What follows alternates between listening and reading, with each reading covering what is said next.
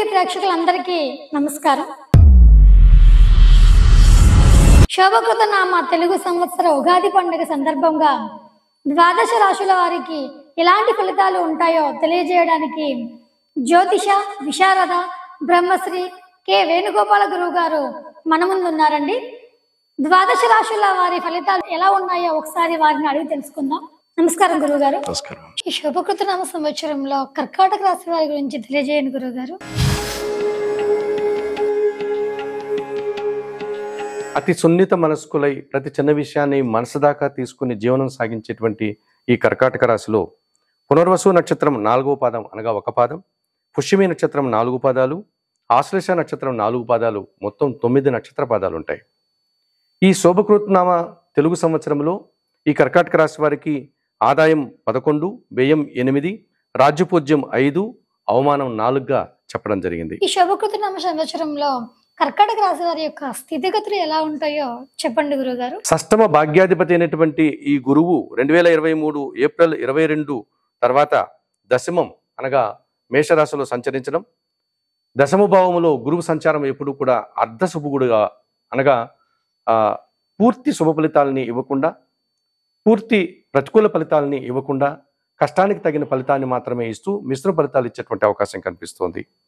ఇక సప్తమ అష్టమాధిపతి అయినటువంటి శని భగవానుడు ఈ సంవత్సరం అంతా కూడా అష్టమ భావంలో అనగా కుంభరాశిలో సంచరించడం వల్ల కర్కాటక రాశి వారికి అనారోగ్య సమస్యలు ఆర్థిక సమస్యలు ఎక్కువ అయ్యేటువంటి పరిస్థితులు కనిపిస్తున్నాయి. ఇక రెండు వేల ఇరవై మూడు అక్టోబర్ వరకు దశమంలో అనగా మేషంలో రాహువు విదేశీ వ్యవహారాలు నూతన ఉద్యోగ ప్రయత్నాలు సఫలీకృతం అయ్యే విధంగా ముందుకు సాగేటువంటి పరిస్థితి ఉంది. అనగా మంచి ఫలితాలు ఇవ్వడానికి అవకాశం కనిపిస్తోంది.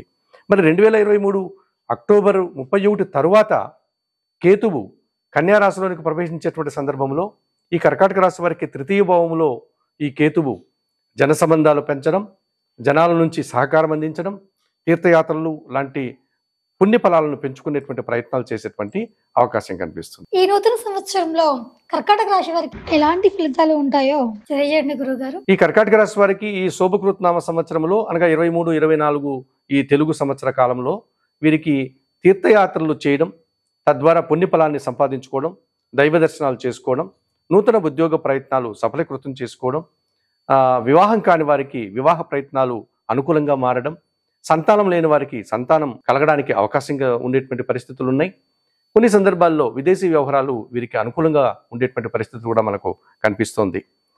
కుటుంబంలో ఏదైనా అశాంతికర సంఘటనలు కానీ అనవసరమైనటువంటి దుబారా ఖర్చులు కానీ రాకుండా ఈ కర్కాటక రాశి వారు కాస్త జాగ్రత్తలు తీసుకుని ముందుకు వెళ్తే మంచి ఫలితాలు రావడానికి ఎంతగానో అవకాశం ఉంది. అలాగే ఈ నూతన సంవత్సరంలో కర్కాటక రాశి వారికి ఎలాంటి పరిహారాలు చేస్తే బాగుంటుందో వివరించండి గురువు గారు ఈ కర్కాటక రాశి వారికి అష్టమ శని దోషం ఉంది గనక వారు ప్రతినిత్యం ఆంజనేయ స్వామిని దర్శించుకోవడం శనివారం రోజున ఆంజనేయ స్వామి వారికి అక్కడ అందుబాటులో ఉన్నటువంటి విశేష పూజలు అనగా ఆ, వారికి వడమాల పూజ కానీ తమలపాకుల పూజ కానీ ఇలాంటి పూజలు సింధూరు పూజ కానీ ఇలాంటివి నిర్వర్తించుకోవడం శనివారం రోజున గోవులకు సేవ చేసి గోశాలకు వెళ్ళి వాటి గోవులకు ఆహార పానీయాలు అందించడం ఇలాంటి పరిహారాలు చేసుకోవడం వల్ల వీరికి అష్టమశని దోషం నుంచి బయటపడేటువంటి పరిస్థితి కనిపిస్తుంది.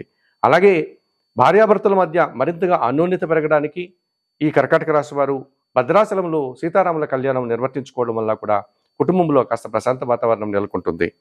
అలాగే కనకదుర్గాదేవికి ఏమాత్రం అవకాశం ఉన్నా కుంకుమ పూజలు నిర్వర్తించుకుని అమ్మవారికి ఎర్రటి పూలమాలను సమర్పించడం తులసి చెట్లకు పూజలు చేయడం తులసి చెట్లకు నీరు పోయడం రావి వేప చెట్లకు నీరు అందించడం ఇలాంటి పరిహారాలు చేసుకోవడం వల్ల మరింతగా మంచి ఫలితాలు రావడానికి ఈ కర్కటక రాశి వారికి ఈ సంవత్సరంలో అవకాశం ఉంటుంది. ధన్యవాదాలు గురువు గారు ఇప్పటి వరకు చాలా మంచి విషయాలని మనం గురువు గారి దగ్గర తెలుసుకున్నాం. అలాగే వాటిని పాటించి మంచి ఫలితాలను కూడా పొందుదాం లవ్లీ టీవీ ప్రేక్షకులకు ఉగాది పండుగ శుభాకాంక్షలు. మరొక వీడియోతో మళ్ళీ కలుద్దాం. నమస్కారం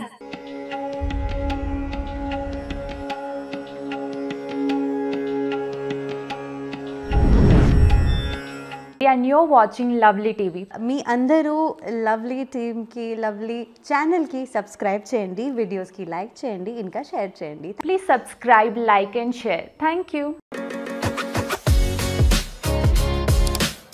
ఈ వీడియో మీకు నచ్చినట్టయితే లైక్ చేయండి షేర్ చేయండి కమెంట్ చేయండి సబ్స్క్రైబ్ చేయండి